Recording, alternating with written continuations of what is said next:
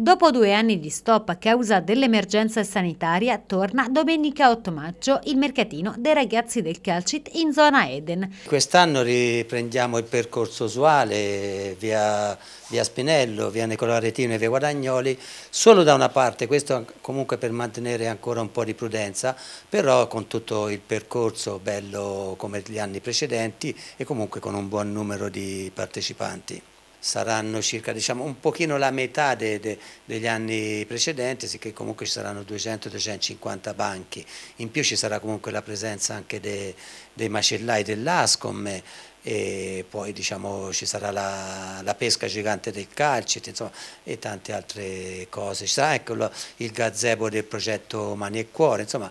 abbiamo cercato di mettere dentro più cose attinenti ovviamente. Sempre domenica 8 maggio ci sarà anche la prima edizione della rassegna delle bande musicali con ritrovo e partenza da Piazza Grande. Saranno in tutto sette bande, eh, ogni banda circa 25-30 persone, con un eh, percorso che partirà da Piazza Grande dove terranno un concerto, poi si snoderà per Corso Italia, Piazza San Jacopo e poi entreremo nel percorso del mercatino fino a, a Via Guadagnoli. In caso di questo mercatino lo destineremo al servizio SCUD, assistenza domiciliare per malati oncologici e malati ad alta complessità,